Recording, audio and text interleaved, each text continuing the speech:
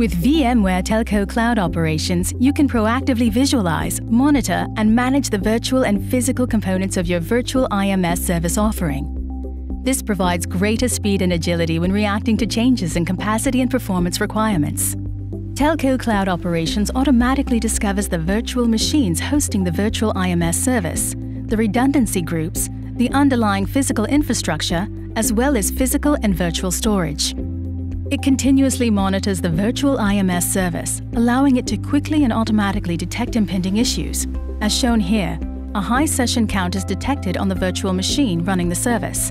This can eventually lead to dropped voice over LTE calls, so an alert is triggered. The notification view shows the actual issue on the virtual machine along with the service that is impacted. Telco Cloud Operations detects the need for additional processing power and automatically initiates a scale-up request to Telco Cloud Automation as shown in the notification log. As it monitors the workflow, it notifies operators that a corrective action is underway.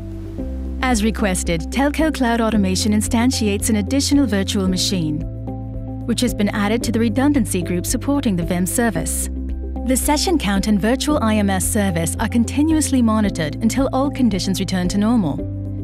The entire process is completed through API integration and closed-loop automation. Telco Cloud Operations integrates seamlessly with orchestration systems so you can more proactively and precisely maximize the scalability and flexibility delivered by your virtual IMS services, while at the same time reducing operational costs and complexity.